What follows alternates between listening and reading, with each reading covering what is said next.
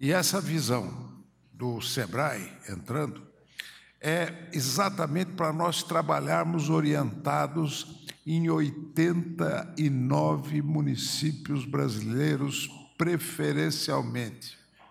81 municípios brasileiros, que são os municípios que estão no mapa da violência, que é exatamente a falta de oportunidade do trabalho do jovem.